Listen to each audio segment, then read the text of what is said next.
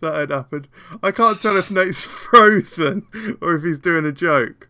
I literally. Oh literally. no no no no! It's Ah, good. Unstable. So I've gone. Can't hear them. Can't see them. Can they hear me? Who knows? This is good. Really good. Ah, awful. Out.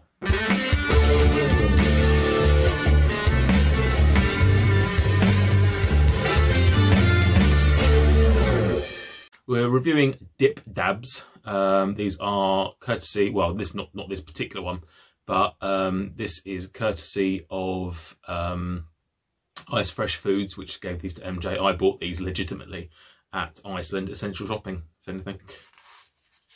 So I'm just going to do this and review it. Really, um, I don't know how much they are. Sherbet everywhere, of course it is, because what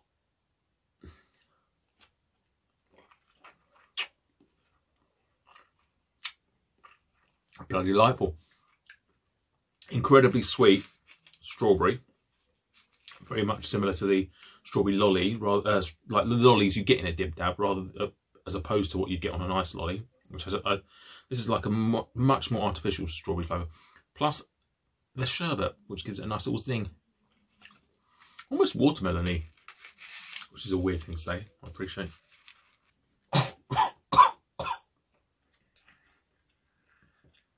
Sherbet up the nose. I'm going to finish this. this is a lovely little product. I love it. Love the playfulness of it. I love the playfulness of it. I love the fact it's kept with brown with the dipping and the dabbing.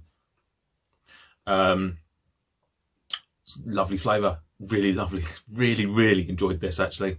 Um, it is a little bit excessive. I don't know if I really want to be dip- dipping my lollies or just eating them for convenience on a nice hot day. But it's bloody fun. Bloody fun. I've got sherbet everywhere. um, yeah, fair play. Exclusive to Iceland. Going by these four stars. Yeah, sorry about that. Zoom Zoom reviewing. Not really a not really a viable thing, is it? Awful. Love to your mums.